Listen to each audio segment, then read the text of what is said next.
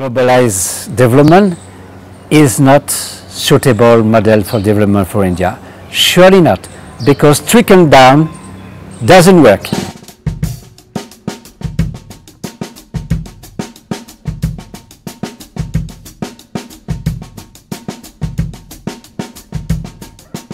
Bioregionalism is a movement uh, which is mainly born uh, from Italy and Italy has a very respectful point of interest through its ecological, social, artistic patrimony. Bioregional process is uh, a completely regener regenerate uh, way to think about our territories. I mean that the question is now, you know, environment and social problems are very deep and increasing problem in India. So we do have to have new approaches to think our, about our regional planning. Regional planning is a good scale to connect with people with their territories, their nature, uh, their institutions, and to build a new model of development. So, to build a bioregion, you have to think about new borders. I mean, administrative borders are not maybe the right borders. You have to think about new ecological borders or maybe cultural borders, identity and so on, to find which is the good identity and the good scale and the good territories you have to think about. And when you look at these territories, you have to build what we do call a consciousness of the place. You have to build that with a participation of all the people, academics, politicians, people on the ground, NGO, workers, everybody, you have to emerge this process of consciousness of the place through the global archaeology of the place. And with that, you build a local project, you build a project of territory which is different for, from an economic development process. Bioregional is a new paradigm to think about territories because territories is like a microcosm of the earth, you know, that we are connected with. It is our area where we are working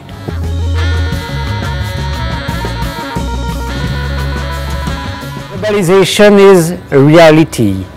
Globalization is global capitalism of, as I called you just a few minutes before, the added chain of values, which means that to product, what we call a, a product, which means your iPhone or something else, is sometimes built some in Taiwan, in India, and just pieces are put together maybe in Germany and they sell in uh, US or in UK or in France.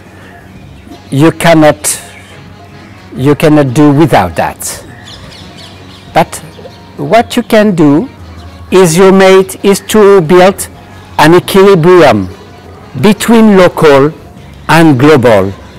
And if you imagine a planning that take in consideration what we are calling also negative externalities, meaning that when you have a product which is a product with pieces coming from India, from you always have negative externality.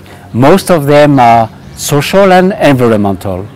So you do have to build a new econometry to internalize, to internalize into the price, the negative externality, because this economic or globalized economy is not correct.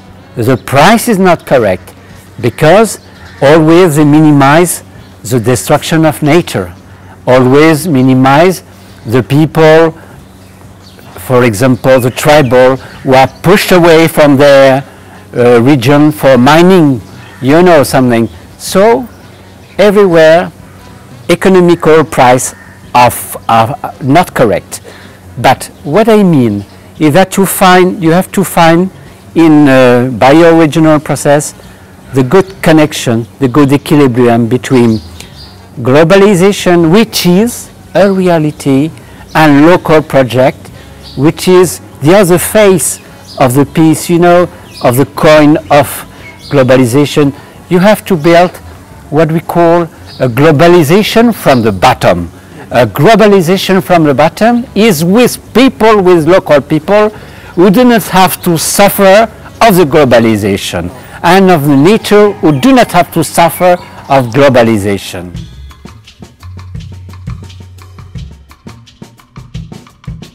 When I, I go on trip in India, I'm very afraid about climate change. I think it's becoming reality now because a lot of pro drought problem, water problem, and uh, I think that the actual government and then before is completely disconnected of reality. So I think that we have to work about new areas and we have to do strong regeneration, how do you call that, process of ecology. I think this is first. I think that it's very important to have a, a national reforestation program because I think that uh, climate change will be very difficult, very dangerous for India in the next 10 or 20 years. We cannot imagine, but I see real a big catastrophe for India. And India has, doesn't see that, and I think that we will have two India, one for the middle class, which are not responsible of anything, they only believe in the Western model, consuming, they are not responsible of uh, what is happening in India with the poor. They don't, they don't realize that. What I mean is, to answering your question, is that we do have to build a strong social science working about territories all over India. Social science means people working on the ground about what is happening, uh, considering climate change, ecological and social, ecologically and socially, and because when you have strong social science, you are really able to analyze the reality. You were talking about the left party and so on, the socialism and what we could call eco-socialism. Why we do have strong states and redistribution states in Western countries, it is because we do have strong social science, strong universities, and strong intellectual life. So in India, you do have to build a critical thinking, which is very important. You do have to build a real nation, a real society. I mean that India is maybe mostly a culture more than a society.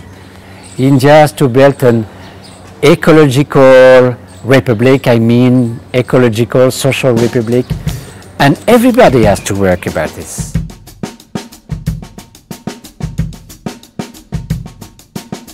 You do make a separation between, you do, I mean, in the peop people mind, I mean, you know, you do make the separation between poverty and environment, which is really a big mistake. Yes.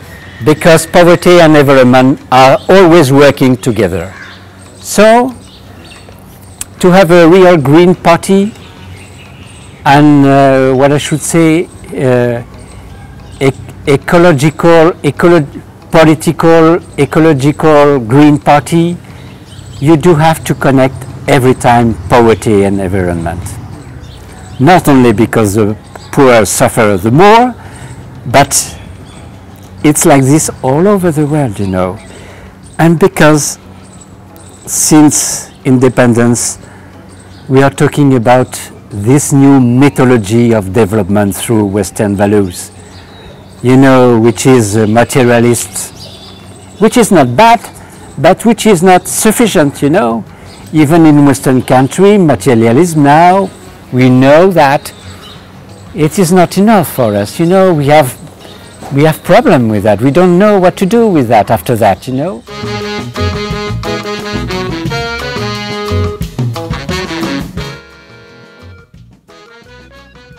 This is not an Indian way of thinking development. I think that uh, smart cities, we are always, everywhere we are speaking about smart cities, but smart cities is mostly of the type technocratic process, meaning techniques will give us all the answers about our cities. This is not possible. This is not enough. You do have to consider again relation between cities and countries and so on and to work on the regional process, as we say. And you know, uh, smart cities are quite a political gadget. And about this linkage of uh, I think this is really, how can you imagine this? This is incredible, you know? You cannot go against nature like that. It's impossible. You will destroy all of all the life. I am talking in my paper about democracy of, uh, how, how do I call that? Vivant means livelihood. Democracy of livelihood. We have to think about now all what is alive. And we do have to take care of all what is alive, meaning starting from animals to human to trees. This can be also Indian process, you know, in nature. And we do have to regenerate, to regu regenerate what is alive is a part of our development. We are not disconnected of that if you make big dams, if you connected big dams and big river, it is not a life process. You're, you're dying everything, you know.